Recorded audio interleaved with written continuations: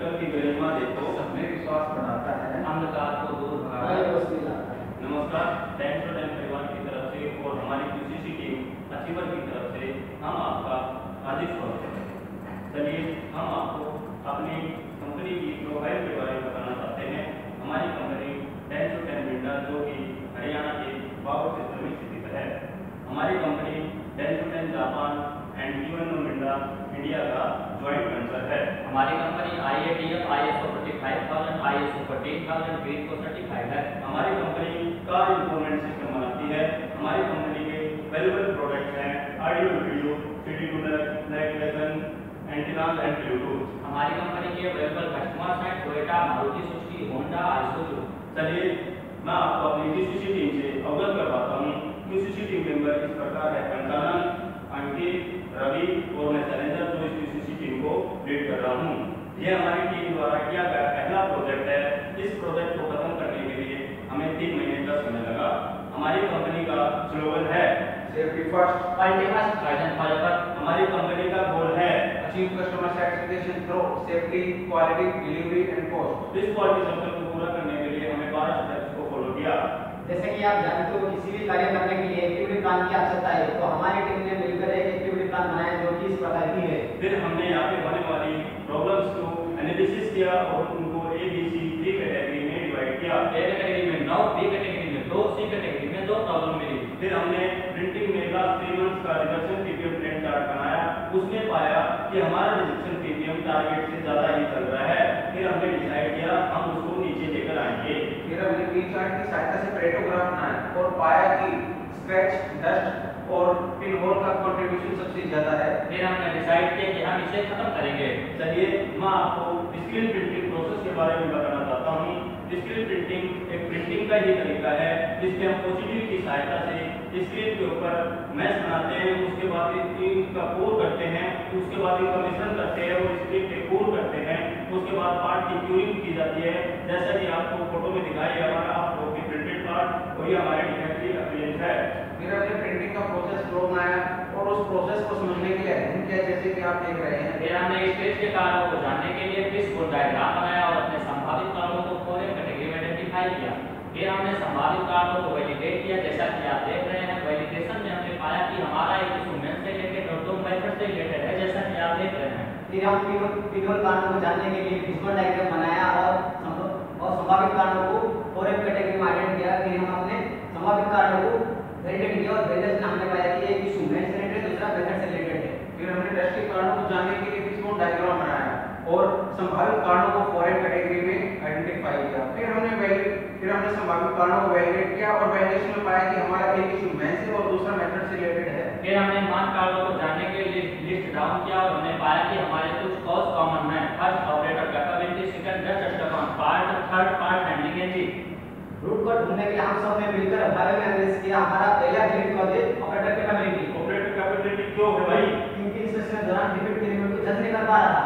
जज क्यों नहीं कर पा रहा था लिमिट सैंपल था लिमिट सैंपल क्यों नहीं थे? स्टैंडर्ड क्लियर नहीं था स्टैंडर्ड क्लियर क्यों नहीं था स्टैंडर्ड के बारे में नो अंडरस्टैंडिंग था क्या यही हमारा रूट कॉज है हाँ यही हमारा रूट कॉज है इस समस्या को हल करने के लिए बेस्ट में की पहला सुझाव है क्यों ना हम ऑपरेटर को चेंज करते हैं नहीं ऑपरेटर को चेंज नहीं कर सकते हम ऑपरेटर चेंज करते रहे तो हमारा ऑपरेटर कभी डेवलप ही नहीं हो पाएगा इस समस्या को समाधान के लिए हमारा दूसरा सुझाव ये क्यों ना हम ऑपरेटर को रिटेन दे और उसे डेवलप करें। हाँ ये सजेशन सही है। हमने ऑपरेटर को रिटेलिंग दी और उसके सामने स्टैंडर्ड्स लगाई। फिर हमने लिमिट सैंपल्स बनाए और उनको आइडेंटिफाई किया। फिर हमने डिफेक्ट गैलरी बनाई और उनको आइडेंटिफाई की। आइए हम आपको अपने दूसरे वेरिक कॉज की तरफ़ ले चलते हैं। हमारा दूसरा वेरिक कॉज है पार्ट के ऊपर डस्ट का जन्म पार्ट के ऊपर डस्ट का जमा क्यों? क्योंकि इन्वायरमेंट में डस्ट के पार्ट के ऊपर डस्ट जमा हो गई थी। जमा क्यों हो गई थी भाई? क्योंकि हमारे बिन एंड डस्टिंग थे। बिन एंड फॉर्म डस्टिंग क्यों थी? क्योंकि हमारी वीडियो ओपन एनवायरनमेंट से होकर डायरेक्ट प्रिंटिंग शॉप में रखी जाती थी। डायरेक्ट क्यों रखी जाती थी? क्योंकि प्रिंटिंग में सेपरेट लोकेशन आइडेंटिफाई नहीं थी। क्या ये रूट कॉज है? हाँ यही हमारा रूट कॉज है। इस समस्या के समाधान के लिए फिर हमने वाई वाई एनालिसिस किया और हमने पाया कि हमारे दूसरे वेरिक कॉज का एक और पहलू हमारे एनवायरनमेंट डस्ट का एक और रीजन प्रिंटिंग में वर्कर का एक्सेस मूवमेंट भी है। एक्सेस मूवमेंट क्यों है? क्योंकि बिन हैंडलिंग के लिए प्रिंटिंग में bin movement part loading unloading और स्ट्रक्चर को बार बार आना जाना पड़ता था बार बार क्यों आना पड़ता था क्योंकि यहाँ पर भी प्रिंटिंग में सेपरेट लोकेशन नहीं थी ये रूट कॉज है यही हमारा रूट है इस समस्या के समाधान के लिए हमारा पहला सुझाव था कि क्यों ना हम अपनी बिन प्रिंटिंग के बाहर ही रखें। नहीं ये सजेशन सही नहीं है। यदि प्रिंटिंग के बाहर भी रखेंगे तो बिल और ज़्यादा सस्ती हो जाएगी। इस समस्या के समाधान के लिए हमारा दूसरा सुझाव है कि क्यों ना हम एक नया केबिन प्रिंटिंग के बाहर बनाएँ। बिल्कुल ये सजेशन सही है। हमने बिन स्टोरेज के लिए एक नया केबिन बनाया। फिर हमने एंट्रेंस गेट की डायरेक्शन को चेंज किया। पहले हम ओपन एनवायरनमेंट से प्रिंटिंग में एंट्री करते थे। लेकिन जैसा कि आप देख रहे हैं हमने प्रिंटिंग गेट की डायरेक्शन को 90 डिग्री पर चेंज कर दिया कर दिया है ताकि हम बाहर से आने वाले डस्ट को रोक सकें। इसके लिए हमने थ्री लेयर क्लीनिंग शुरू की first shoe cleaning machine second double door room third air shower cleaning फिर हमने स्क्रीन प्रिंटिंग में एक्सेस मूवमेंट को कंट्रोल करने के लिए कन्वेयर सिस्टम को और प्रिंटिंग और स्टोरेज को से लिया सिंगल पार्ट प्रोसेस चालू किया जिससे हमारी एक्सेस मूवमेंट कम हो गई। आइए हम अपने तीसरे ब्लेड की तरफ़ चलते हैं। हमारा तीसरा ब्लेड का है पार्ट हैंडलिंग सही नहीं थी पार्ट हैंडलिंग सही क्यों नहीं भाई हमारे फिंगर और पाम पार्टनर में हो रहे थे। काम क्यों टच हो रहा था? क्योंकि पार्ट को बीच उठाना समय रखते समय टच हो जाता था। क्यों टच हो जाता था? क्योंकि टॉप पार्ट की टॉप साइड पर समय नहीं होती थी।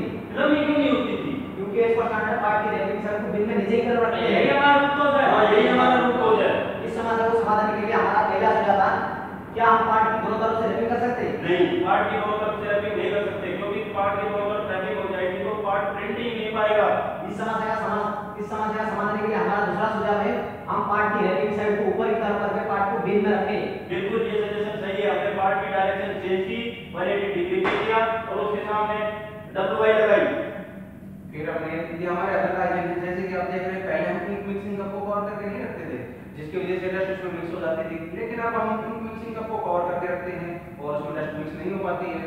अब पहले हम नॉन एडिसिव मैट का यूज़ करते थे जिसकी वजह से डस्ट वहाँ पर नहीं चिपकती थी। लेकिन अब हमने वहाँ पर स्टिकी मैट लगा दिया जिसकी वजह से डस्ट वहीं पर चिपक जाती है। पहले हम टेम्पररी मार्कर का उपयोग डाटा रिकॉर्डिंग के लिए करते थे, जिससे जिसकी डस्टिंग के समय डस्ट जनरेट होती थी।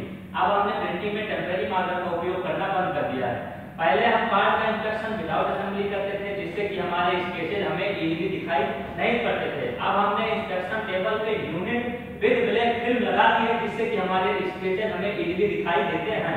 हमने काइजन को स्टैंडर्ड किया और डब्ल्यूआई को कॉन्ट्रैक्ट में लिंक किया और लेआउट अपडेट किया। फिर हमने कागज़ में टेक्नोलॉजी को आइडेंटिफाई किया और अपने मैनेजमेंट की सहायता से उसे खत्म किया। फ़ोटो ग्रुप अलग की सहायता से काम को मेजर किया और उन्हें पूरा किया। हमने सभी एक्टिविटी पूरा किया जैसे कि आप देख रहे हैं हम आप में से कुछ थोड़े डिले होंगे।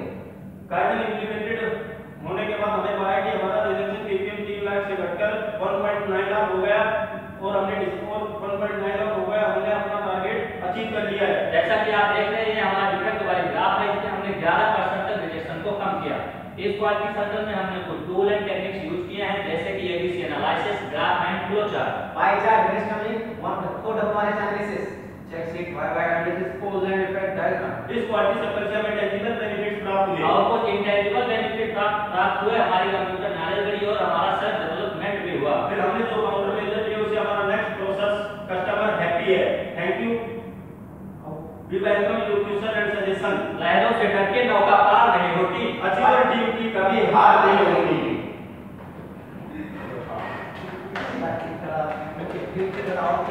लंबा चला गया। है ना? टाइम दे बस टाइम दे आठ पैंतीस।